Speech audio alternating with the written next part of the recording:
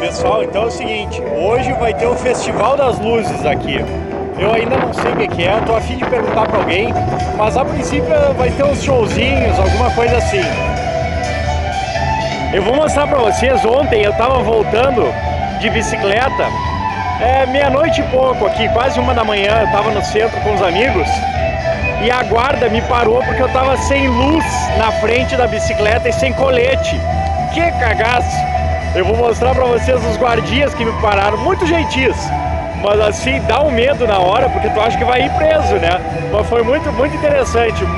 De uma, de uma gentileza tremenda. Foram esses daqui que me pararam, olha só.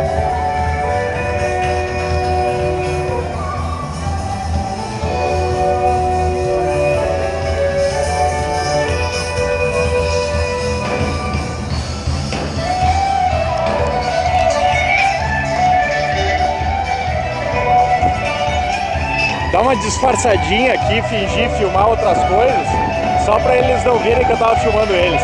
Mas o pessoal, uma gentileza danada, eles estavam preocupados mesmo era com a minha segurança. Tá, pessoal? Daqui a pouquinho a gente volta com o show das luzes. Valeu!